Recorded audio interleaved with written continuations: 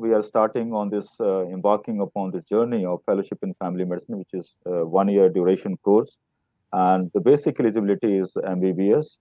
As we know, in our National Health Policy 2017, there is a specific emphasis on upskilling, reskilling, and training more of our MBBS doctors into this discipline. And family medicine has been, you know, throughout, if you look through several policy documents of government, it has been duly emphasized time and again. So, uh, in this program, what we are uh, looking to learn, one is the foundational concepts of family medicine, then skill required to recognizing common medical con conditions, making timely appropriate referrals, and doing effective consultations and counseling. Because many times we assume that family medicine is, you know, we learn by default. This is not the concept we, which we are introduced to during our MBBS curriculum and course.